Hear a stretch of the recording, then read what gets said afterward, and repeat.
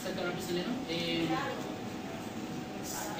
la verdad que igual yo particularmente estoy súper ocupado con tratar de hacer canciones y todo eso, entonces poder hacer una reflexión acerca de lo que ha pasado y tal, yo creo que es muy pronto.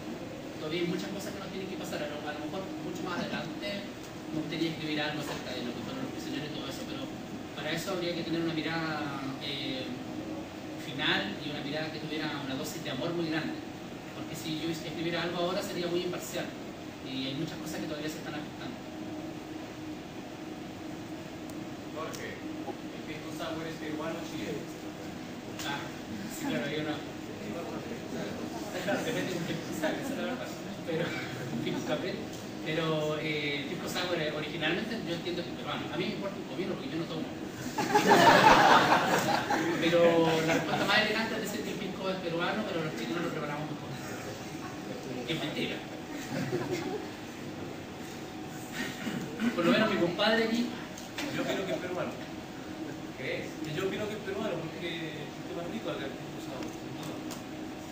Pero han probado el pisco que hacen en su tierra y van a comparar. Obvio, a eso me refiero. O sea, cuando voy a un restaurante, yo, yo sí salgo mucho y me gusta la bohemia. Eh, no tomo, no tomo mucho pisco, pisco sour en Chile en general. Mi trago favorito, pero acá en Perú, sin duda, es un rico, sabroso trago. Y eso me hace pensar que, que debe ser de acá realmente muy, es muy sabroso. Bueno, que la comida, la comida lo más rico que hay, verdad. Venir a, venir a tocar, aparte que significa viajar y conocer el país y todo eso, para nosotros es venir a comer muy rico, la comida. Para mí es la que más me gusta de todo lo que he de México acá, hasta. Así que todo bien para mí con comer acá en ella. Jorge, ¿no considera que es la partida de nuevo en la era los prisioneros no son como niños, o sea, no están agregados, mucha gente con Sin duda, sin duda la, partida de Claudio Narea para nosotros significó, desde un punto de vista mediático, un golpe muy grande. Puesto que cuando nuestros prisioneros se separaron la primera vez en el año 90, Miguel se dedicó a hacer muchas cosas de música, yo también me dediqué a hacer cosas de música, y Claudio él se puso a trabajar en una radio en Chile, y también a hacer cosas que tenían que ver con el gobierno, a administrar cosas que le, que le permitieron a él eh, juntarse y ser asimilado por una sociedad que a los prisioneros nunca antes lo asimiló. Entonces cuando los prisioneros se reunieron ahora en el año 2001, la- eh, el, amigo de la prensa era Claudio. O sea, quienes tenían, todos los periodistas de los, de de ultraderecha tenían el teléfono celular de Claudio para llamarlo y Claudio, cuéntanos que los prisioneros que son. Entonces, obviamente cuando nosotros decidimos dejar de trabajar con él, eh, que fue de una manera, una conversación muy amistosa y muy de caballero, él tenía toda la prensa de su lado para cuando él quisiera poder, eh, digamos, eh, descargar su, frustración o, su mala onda. Entonces, obviamente, el, al otro día que nosotros decidimos de trabajar con Claudio, nos tiramos a toda la prensa en sí. Y toda la prensa se preocupó de endiosar y elevar a Claudio como el alma y el auténtico prisioneros. Cosa que es bien curiosa, porque en realidad, el, el- estilo de vida que el, tipo de trabajo que él realiza, él está completamente del lado de, de todo lo que significó estar en contra de los prisioneros toda la vida.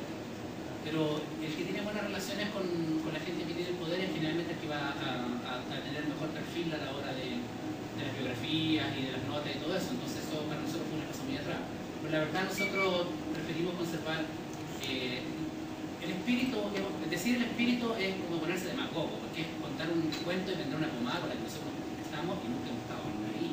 O sea, los prisioneros son un grupo de música. Tipos que van al ensayo y se vuelven a declarar y tocan la música y llegan a la hora y lo hacen bien, esos son los prisioneros. Si alguien quiere por ahí ir a hablar de que yo soy un verdadero espíritu porque yo no me cambio los calcetines todos los días, entonces soy más auténtico que tú, soy yo, una cosa diferente. Pero nosotros no es la cosa que nos mantiene juntos porque en el fondo lo que necesitamos es ir al ensayo, tocar, pararse al escenario y crear música nueva. Entonces, evidentemente, el hecho de separarnos de Claudio nos permitió para afuera tener una imagen muchísimo más disminuida que la que teníamos. Y es un problema por un lado. Y, pero por otro lado es la realidad que íbamos a hacer. O sea, podríamos haber seguido tocando con Claudio completamente peleados, como han hecho muchas otras bandas, y de pronto seguir eh, eh, apareciendo de la puerta para afuera como algo muy importante. Porque la verdad es que cuando estaba Claudio dentro, ya hicimos conciertos en Chile donde no iba tanta gente como antes.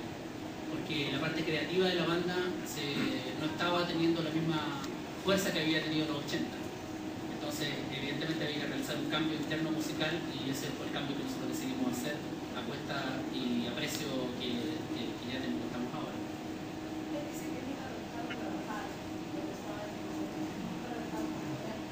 Eh, bueno, en los años 80, cuando la banda hizo sus grandes éxitos, bueno, en los últimos discos, en el último disco, Los Prisioneros, él tiene dos canciones, y fueron las dos que presentó. Él logró introducir en el último disco todas las canciones que hizo. Yo, sin embargo, tuve que dejar como siete u ocho afuera. Eh, entonces, igual había una desigualdad, o sea, todo lo que él escribiera iba a tener que ser aceptado inmediatamente. Lo que yo escribiera iba a tener que empezar con un sedazo. Y sería bueno recordar que las canciones más populares de los prisioneros, casi todas las canciones, tuve la fortuna de escribir yo. Ahora, precisamente, el problema que tuvimos con él fue por, por motivos de trabajo. No era precisamente porque él estuviera llamándonos todos los días o yéndonos a levantar de la cama para decir, quiero trabajar. No, para eso no pasa. Usted no quiere trabajar. Es que yo no quisiera seguir más los directos con Claudio porque eso ya pasó hace mucho tiempo. Pero lo que sí quisiera aclarar es que la, la cara con la que los prisioneros aparecen en la prensa o con lo que los integrantes diferentes de los prisioneros aparecen en la prensa no es exactamente lo que pasa en la realidad y lo que nosotros cuando últimamente tuvimos oportunidad de conversar antes de terminar nuestra relación de trabajo, conversamos, acordamos, es muy diferente. Pero es comprensible porque de pronto estar tocando en una banda importante como los prisioneros y al otro día no estar ahí, yo creo que debe crear un conflicto importante y, y un estado de inseguridad que si tienes las medidas, la- lo- las armas a los lados, la gente que te puede ayudar para, para por lo menos de la puerta para afuera hacer aparecer que es diferente, lo hacen. Yo no, no tengo, no, la verdad que entre todas las cosas que tengo que hacer y toda la gente de la que me preocupo, no me preocupaba por pensar qué es lo que puede ser de Claudio de aquí en adelante. Él es una persona con mucho talento, que tiene un apoyo muy grande de gente muy importante en Chile, está asociado con una persona que, manejó la radio pop por muchos años, entonces cualquier cosa que le haga la van a pasar todos los días en todas las radios. Así que yo estoy seguro que le va a ir muy bien, y aparte que él tiene mucho talento, eh, no es malo que los mucho. Este, esta mala relación con la prisionera, de alguna manera tiene que estar en una bebé, entonces, No, yo no creo, o sea, yo creo que la mala relación con cierta prensa chilena eh, ha existido siempre, por unos motivos políticos que te digo yo y de actitud. Ahora, del mundo pasa eso, hay gente que tiene mejor llegada, hay gente que tiene menos llegada, la gente que va a los hoteles, que se saca la foto, la gente a la que puedes encontrar tu celular más fácil, la gente que, políticamente es más correcta, obviamente va a tener una mejor cara, la gente que va a reproducir lo tuyo está esperando que diga, entonces ahí hay conflicto. Pero la verdad que no es un problema que para nosotros sea nuevo y tampoco un problema que por el que podamos hacer algo. Lo único que podemos hacer es tratar de hacer buenas canciones.